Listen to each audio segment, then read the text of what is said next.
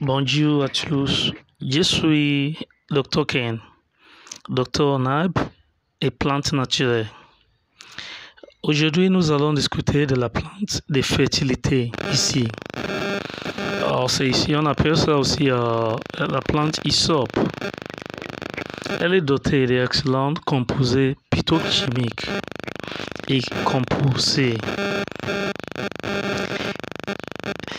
Cette plante traite un large éventail de problèmes d'infertilité chez les hommes et les femmes.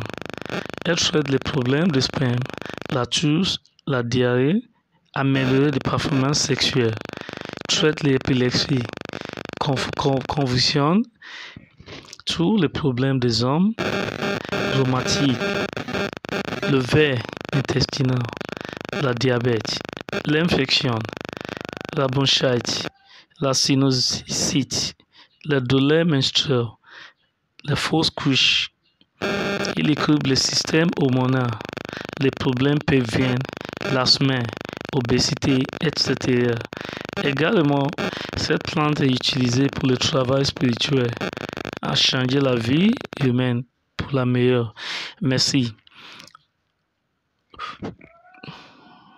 Tu peux me contacter aussi sur euh, WhatsApp plus 241 06 30 36 87 plus 241 06 30 36 87.